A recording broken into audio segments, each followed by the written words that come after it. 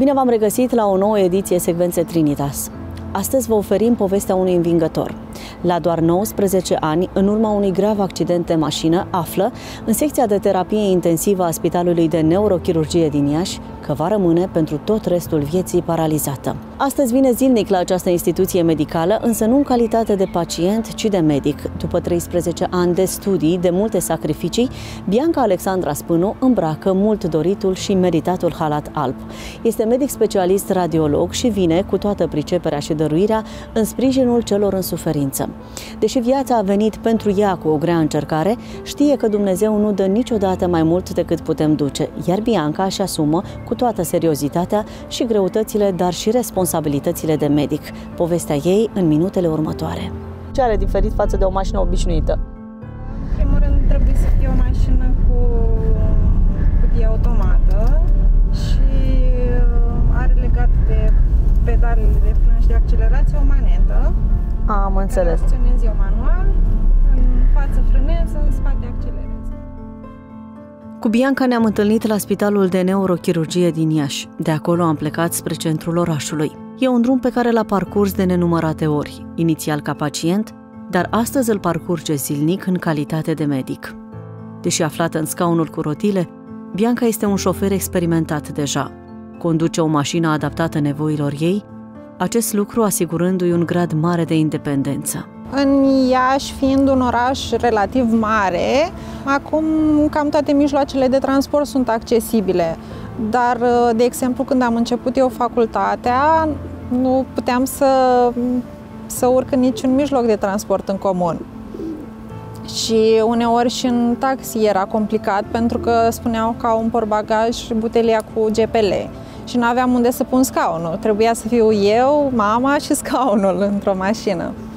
Este foarte complicat pentru o persoană în scaun rulant să trăiască cu 500 și un pic de lei pe lună. Este foarte complicat uh, să alegi să mergi la studii dacă nu ai uh, susținerea familiei și susținerea emoțională și susținerea financiară. Este foarte complicat să mm, nu faci complicații tocmai pentru că nu ai acces la îngrijirile de sănătate sau poate că nici nu știi că ai anumite drepturi. Suntem... Deci recuperarea unui pacient ca și tine ține foarte mult de cât de mult poate familia să-l ajute, pentru că ceea ce oferă statul e basic. E... Da, da.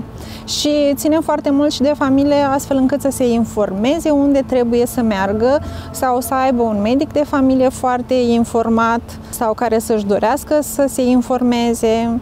Acum societatea e mai deschisă în ceea ce privește nevoile persoanelor cu dizabilități, însă rămân în continuare mari probleme legate de mentalitatea cetățenilor. E greu pentru unii să vadă abilități acolo unde dizabilitatea este vizibilă. Cum e societatea de astăzi? E pregătită să, societatea românească, mă refer, să integreze persoanele cu astfel de dizabilitate?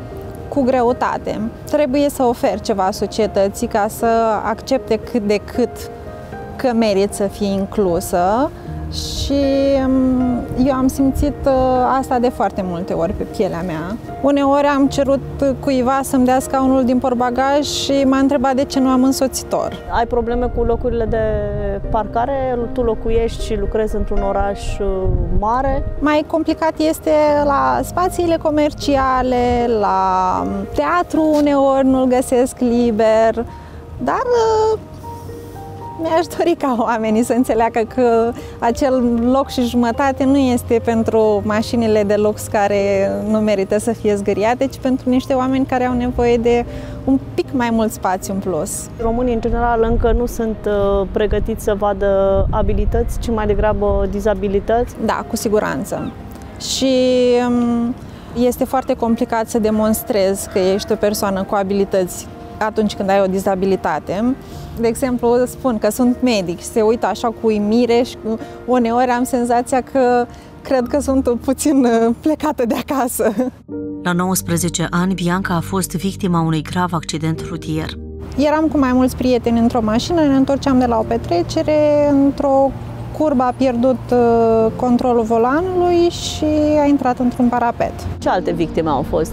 Tu ai fost cea mai grav afectată sau au existat cazuri și mai grave? Prietenul meu a murit pe loc. Și apoi eu și au mai fost și niște leziuni mai puțin severe la ceilalți prieteni. Vestea că toată viața va fi nevoită să se deplaseze cu ajutorul unui scaun rulant a fost greu de acceptat la început, dar nu a avut de ales. Accidentul în sine eu nu mi-l amintesc. Mi-aduc aminte uh, fragmente din uh, secția de terapie intensivă. Mi-amintesc doar că veneau uh, prietenii mei în uh, perioada de vizită, prieteni, rude și cred că asta m-a și ajutat foarte mult ca să depășesc momentul. Cumva acolo am renăscut, am reînceput uh, viața așa cum este ea acum. Cum ai primit uh, vestea că ai o leziune care nu-ți va mai permite să mergi pe picioarele tale vreodată? Inițial Inițial mi-a fost uh, puțin greu să accept. Uh, cred că vreo două săptămâni nu am acceptat sub nicio formă scaunul în salon dar uh, după am înțeles că este singurul mod prin care mă pot deplasa și prin care pot să-mi continui viața așa cum este. Presupun că a urmat și o perioadă medicală destul de dificilă, o astfel de leziune vine cu tot felul de provocări, de dureri, de investigații de făcut, până ajungi în stadiul în care ești tu astăzi, independent aproape 100%. Am făcut și foarte multe complicații post-traumatism și post-intervenție. Am stat, uh, cred că, aproape trei luni fără să fac recuperare pentru că am făcut o tromboflebită și nu mi-a permis deloc să fac mișcare. Și abia apoi am uh, mers la un centru de recuperare și am început să mă învăț cum trebuie să folosesc scaunul, cum trebuie să fac anumite transferuri. Realitatea cruntă a fost depășită cu ajutorul celor dragi, dar și al credinței că, în viață, orice îngăduie Dumnezeu să primim, putem duce. Dacă nu aveam uh, părinții și sora pe care îi am, cu siguranță mi-ar fi fost mult mai greu și cu siguranță mi-ar fi fost mult mai greu să mă adaptez, să mă întorc înapoi la studii, să încep să lucrez. Ce rol a avut credința în uh, vindecarea ta?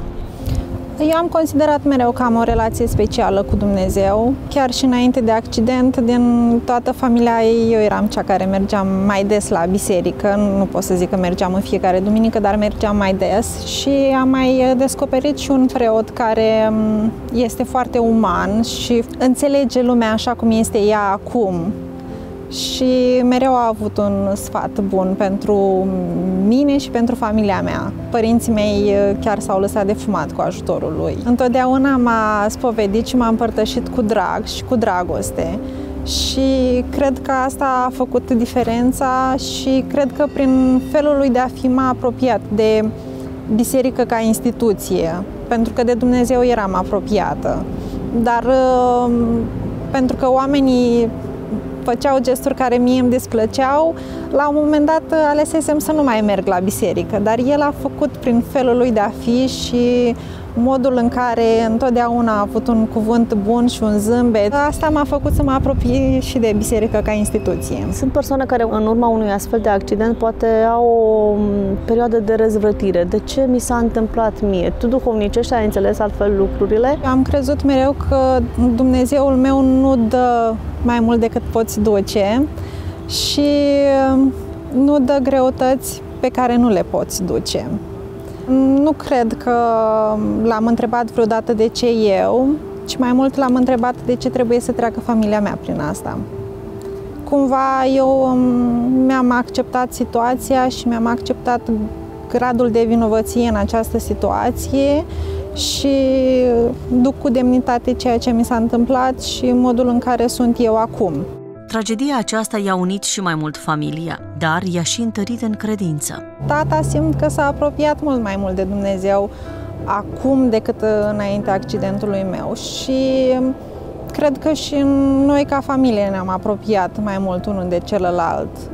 Când s-a petrecut tragedia, Bianca era studentă în anul întâi la Facultatea de Medicină Dentară din Iași. A finalizat anul, dar ulterior s-a transferat la medicină generală, conștientă fiind că nu va putea profesa ca medic stomatolog într-un scaun rulant.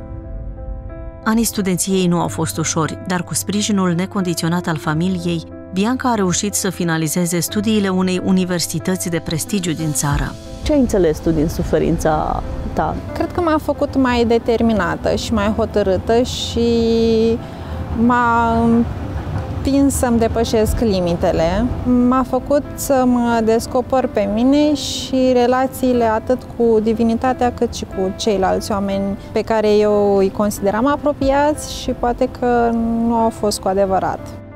A fost medic rezident în radiologie și imagistică medicală la Spitalul Clinic de Urgență, profesor dr. Nicolae Obluiaș, iar în prezent este medic specialist. Bianca a găsit aici nu doar un spital accesibilizat nevoilor ei, ci și o echipă de profesioniști de la care a avut multe de învățat. A venit la mine ca pentru angajare, să mă roage, avea post undeva într-un spital de provincie. Atunci a fost prima oară când am conștientizat că e această situație. Nu, nu mi-am dat seama până atunci. S-a integrat atât de bine în colectiv, încât pentru noi este un, e un om ca toți ceilalți. Dar logistic, administrativ, vine un astfel de caz cu câteva provocări pe care sistemul românesc e pregătit să le depășească? Mai mult sau mai puțin. Și am întrebat-o. Până la urmă am întrebat-o. Zic, de ce ai ales acest spital? E prima întrebare pe care o adresez oricărui vrea să aplice pentru un job în spital. Zic, care este motivația ta? Bine, dincolo de partea medicală, pentru că noi am dus lucrurile aici la spital la un alt nivel, îmi place să cred. Uh, mi-a spus că este singurul spital în care a lucrat până astăzi, în care se simte o persoană normală. Gândiți-vă că venea în fiecare dimineață la spital cu mașină, o mașină personală, iar portarul o ajută, o ajută în fiecare dimineață să, să-și câștige independența, să zic așa, să fie așezată în scaunul cu rotile. Aici, în serviciul de radiologie, totul se petrece normal. Nu a fost privită și nici noi n-am privit-o ca fiind ceva anormal pur și simplu s-a integrat în acest colectiv. Dincolo de, de pregătirea ei profesională, care este excepțională, esențială, și asta a contat în primul rând, nu faptul că are această, această particularitate, în ultimă instanță pe, pe mine ca manager nu mă interesează lucrul ăsta, mă interesează și nu atât știința de carte în esență la un angajat, mă interesează caracterul. Eu am avut uh, post la adjud, dar am reușit prin uh, binevoința domnului manager să mă transfer la Spitalul de Neurochirurgie din Iași și um, am ales acest transfer tocmai pentru că acest spital este perfect accesibilizat nevoilor mele. Și nu a fost uh, o, o alegere greșită pentru că ai găsit aici o echipă care te-a primit cu brațele deschise și de la care cred că ai avut și multe de învățat uh, profesional vorbind, Da, da, nu? da, uh, din toate punctele de vedere, pentru că am fost inclusă foarte ușor în, în colectiv, întotdeauna mi-au răspuns la toate întrebările pe care le-am avut. În cazul în care nu am putut să fac ceva, au încercat să mă ajute și sau să facă acel ceva în locul meu. Deci a fost un colectiv foarte înțelegător și cred că suntem un colectiv închegat. Ne-am uh, întâlnit uh, din primul an de rezidențiat, uh, avea la ea un bagaj de entuziasm semnificativ și dorea să stăpânească această arta diagnosticului medical. A ales spitalul nostru, m-am bucurat și atunci că a făcut-o. Mă bucur și acum că în continuare vrea să colaboreze cu noi și ca uh, medic specialist, proaspăt medic specialist și am apreciat de atunci puterea ei de a trece mm, peste orice obstacol și când mă refer așa ca o mică uh, paranteză, țin minte când a venit prima dată era un mic uh, obstacol la mm, intrarea în secția de noastră și na, fiind o leacă la început, am zis, crezi că e ok acest obstacol, o să poți să, să facem ceva și s-a uitat la mine zâmbind și mm, au fost obstacole mult mai mari pe care am depășit cu succes. Bianca și-a păstrat uh, nota asta optimistă și entuziastă și mm, a reușit să integreze foarte, foarte bine. Și-a ales această specialitate medicală din dorința de a oferi și ea ceva în schimb societății. Fiecare în parte putem să contribuim la o lume mai bună, iar Bianca a înțeles această datorie. Mm, mi-am dorit să pot să fac ceva astfel încât să pot să merg și cumva spre partea de privat, să pot să mm, lucrez fără să am nevoie de cineva care să mă ajute și uh, să fie și puțin solicitant intelectual, pentru că mi-am dorit să pot să învăț în permanență. Și radiologia a fost ceea ce uh, a, a, a bifat toate a bifat aceste toate, lucruri. Da. E un domeniu greu, solicitant pentru tine, te văd umblând pe holuri, cred că trebuie să ai o forță în brațe ca să faci drumurile acestea pe uh, holurile e, spitalului. Din punct de vedere fizic e mai puțin solicitant decât alte specialități. Dar mai solicitant decât o muncă obișnuită la birou. Da, așa este. Dar ți-ai dorit totuși să faci lucrul acesta și să duci visul acesta de a fi medic la capăt, cred că și din dorința de a fi în sprijinul uh, suferinței oamenilor. Da, da. Uh, mi-am dorit să pot să ofer și eu ceva societății înapoi. Am simțit că um, merită și sper să nu fiu dezamăgită. Mai are sistemul medical de lucrat și mă refer nu doar la sistemul lui dumneavoastră, mult. la accesibilitate, că mă gândesc că nu mai e ușor da. pentru un medic și totodată și pentru un pacient să nu, intre bine, da, într-un mai are, spital. mai are mult de lucrat și nu la partea fizică, la rampe sau chestiuni speciale, cât la mentalitate. Deci tot aici e problema tot aici, mare. Aici rămâne problema mare și vă spun că am experiență de administrație de peste 10 ani de acum în această, în această funcție și am întâlnit o felul de situații. Cunosc sistemul sanitar, nu numai din Iași, din România, cel puțin pe specialitatea în care lucrez foarte bine și știu cam ce se întâmplă în țară. Dar are o mare calitate sistemul sanitar din România, este perfectibil. Și asta ține de noi, de oameni, de oamenii din interior, să putem schimba lucrurile. Și credeți-mă că se poate. Munca într-un spital de urgență este foarte solicitantă. Zilnic se fac zeci de investigații medicale imagistice, iar Bianca e conștientă de rolul ei în punerea unui diagnostic la timp și corect. Suntem în fața unor aparate de înaltă performanță. Acum vorbim de rapiditate în diagnostic, un flux de lucru foarte mare. Dacă aș fi să dau un exemplu, vorbim de peste 90 de pacienți pe care îi scanăm la tomograf zilnic, peste 30 de investigații RMN pe care le efectuăm pe zi într-un regim de urgență și, bineînțeles, și programați, dar vorbim de, vorbim de o nevoie de diagnostic imagistică extrem de mare și vorbim de viteză, dar nu trebuie să scăpăm uh, din calitate și din acuratețe. Ne ajută foarte mult uh, aparatura, dar uh, e un stres în a interpreta cele peste 250.000 de imagini zilnice, poze pe care noi le aproape le vedem. Avem nevoie de o echipă, avem nevoie de multă atenție, antrenament, oameni în echipă. La noi time is brain, orice secundă contează. Mor neuroni dacă nu intervenim rapid, dacă nu punem diagnosticul cât mai rapid și cât mai corect. Te cunosc pacienții sau te privesc într-un fel? Simți că poate te privesc cu uimire? Uh, uneori da. da, noi ca specialitate nu prea avem contact cu pacientul, adică foarte puțin interacționăm cu el când facem o minimă anamneză sau când îi dăm rezultatul majoritatea se uită cu uimire și trec peste. Dar cred că ești, așa cum îi spuneam și domnului doctor, și o oază de speranță, pentru că dacă te văd pe tine, medic specialist în scaunul cu rotile, cred că pot înțelege de aici că și ei pot depăși orice problemă Sper. medicală dacă doamna doctor a putut, nu? Sper, da. E greu, vin multe cazuri pe zi, un spital de urgență, de neurochirurgie, cred că și aici e o solicitare mare. Este un spital care este singurul în, în zona Moldovei cu această specialitate și sunt fel de fel de cazuri care mai de care mai unice și cred că și echipa medicală își spune valoarea prin faptul că vin atât de multe cazuri și atât de multe cazuri complexe. Mai mult decât atât, fiind la rândul ei un pacient care a primit un diagnostic grav, știe că în spatele unei imagini pe care o analizează astăzi ca medic E o întreagă familie care suferă.